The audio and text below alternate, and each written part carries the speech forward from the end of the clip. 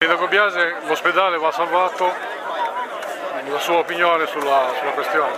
Allora, diciamo che il ponente è stufo di dover accettare passivamente le scelte insensate e inspiegabili che vengono fatte sistematicamente oggi dalla Regione Liguria, eh, domani dal commissario Contellessa e dopodomani forse da nessun altro quando sarà tutto ormai eh, lasciato eh, al caso o al destino. Oggi credo che sia un momento importante perché i sindaci, perché le associazioni, i sindacati, ma soprattutto i cittadini vogliono manifestare la loro rabbia perché hanno il diritto sacrosanto di avere la difesa della loro salute e della loro socialità nel vivere in questi territori.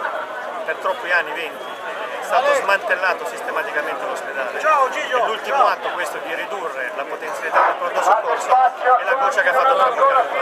Il prossimo passaggio sarà di formare un documento comune e portarlo in Consiglio regionale.